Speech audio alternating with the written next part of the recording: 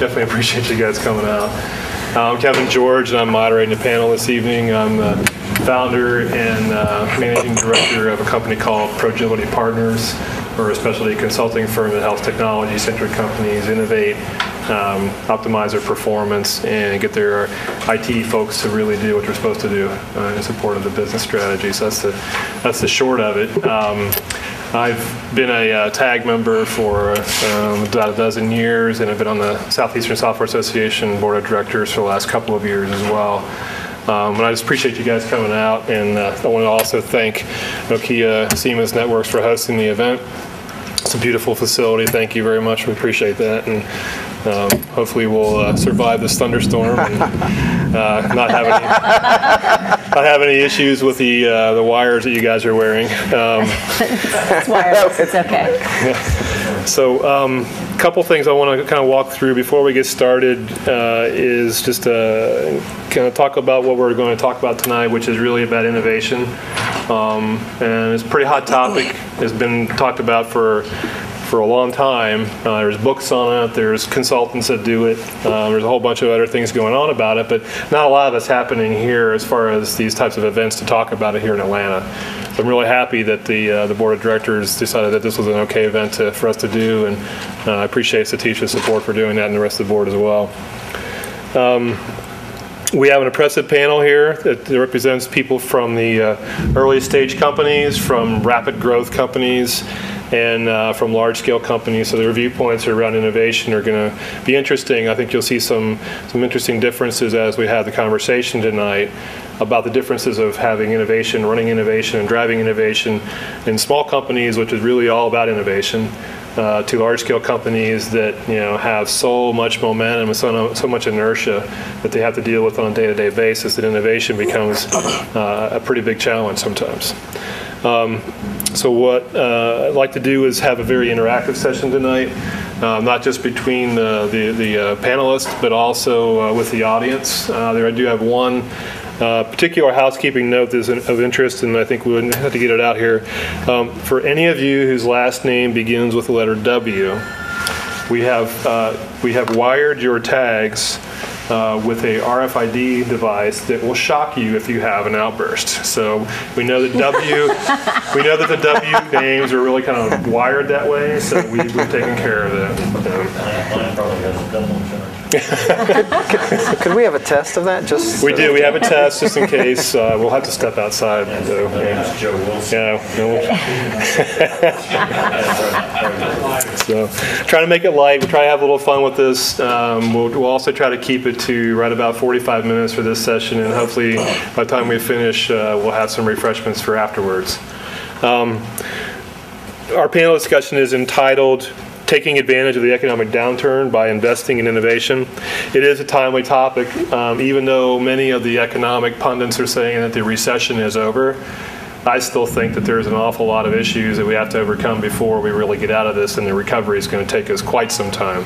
So I think the downturn isn't just because the recession, you know, happened. I think it's the, the recession and then kind of ramping back up to where things should be. We have a long way to go. Um, and in this last couple of years, what's really happened with innovation and, and the downturn was really kind of interesting. A lot of companies that are, you know, they did what they needed to do. They cut their costs, they cut their people, they stopped in, they stopped investing in innovation. Um, but not everybody did that, and we're going we're to see some examples of that tonight as we uh, as Mike cues up his piece. But um, think about what's happened in the last couple of years in terms of social networking. Um, two years ago, email was still the killer app. Well, killer app just uh, just got superseded by social networking uh, just recently. So these new social networking uh, applications, if you will, that are out there, application platforms that are out there, have now superseded uh, email as a used application on the internet. Um, cloud computing. Two years ago, did you guys really, beyond hearing about it, did you actually use it? Did it how did it impact your business? Uh, there's been some interesting things happening there, and then also um, I am about ready to do something that Mike's going to talk about, which is lose my uh, my landline at home and start using my cell phone for everything. So mobile devices are, are really becoming much more popular, and people are not going to continue to be tethered to their, their telco devices even at home. And I think that's going to expand to our, our office environments as well. So without further ado, I'd like to have each of the panelists kind of introduce themselves, give a little bit about their background, and then Mike, if after if you follow that, then just go ahead and uh, right into your thing, and we'll keep things moving. Great. Cool. Uh, thanks, everybody. My name is Mike Molyneux. I manage um, strategic marketing for uh, NSN North America within the applications and services function.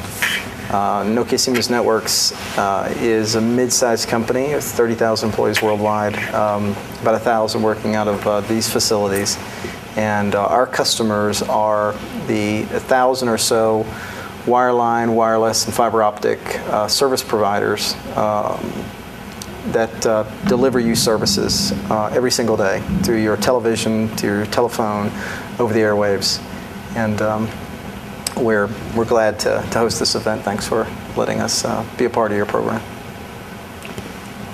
I'm Elaine O'Gorman, and uh, let's see. I think on the program it says that I am uh, I, I, I, am the, uh, the, principal for growth leadership strategies, which I still am, but uh, and was at the time where we first started this, but actually recently have uh, developed a relationship with uh, Kevin's organization. So my, I am a newly minted innovation practice lead for Progility Partners. But I spent about the last 10 or 12 years working exclusively in high growth technology environments. Uh, I worked in, for an e-commerce uh, play uh, for an airline. We uh, did several joint ventures that are now very large companies you may have heard of uh, called Hotwire and Orbitz. Uh, I also worked on the American Airlines website, AA.com, which was run as a relatively independent entity, and we uh, ran that business from about 200 million to a billion while I was there.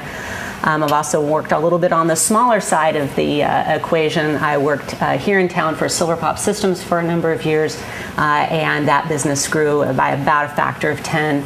Uh, during my time there. And so I've, I've been very fortunate to be associated with companies uh, that have been through uh, a lot of the pains and joys that growth brings. Um, and that have, out of necessity and out of business practice, been very involved in integrating uh, innovation across the organization, uh, both as a mechanism to spur growth and as a mechanism, mechanism for coping with growth. Uh, and so I'm very excited uh, to be here today. Uh, we, I work with a, a lot of clients uh, that are in that high growth phase and that are um, working on ways to you know, keep innovation in their organization and to use innovation as a tool. Um, and I'm looking forward to talking more about it. Very good. My name is Jim Lester. I'm the Vice President of Marketing and Product Management for a company in town named F-Trans. F-Trans is a venture capital-backed company that has a platform that banks use to lend to small to medium-sized businesses based on their receivables. Uh, we are a company that's grown about 6x over the last three years that I've joined, so I've certainly had the opportunity to participate in that growth curve. I started my career with EDS as a systems engineer, and subsequent to that, have spent most of my career in financial payments technology oriented businesses. Approximately half of that time has been with large Fortune 1000 plus type of companies, and then F-Trans is my third startup. So one of the interesting things that I've had uh, the ability to participate in is working at companies on innovations that have been successful and have grown within a large organization and some that haven't been able to escape the large organization as opposed to also with small uh, companies as they attempt to innovate on the innovation curve. And there are uh, very, very different experiences and I look forward to sharing those with you. Very good.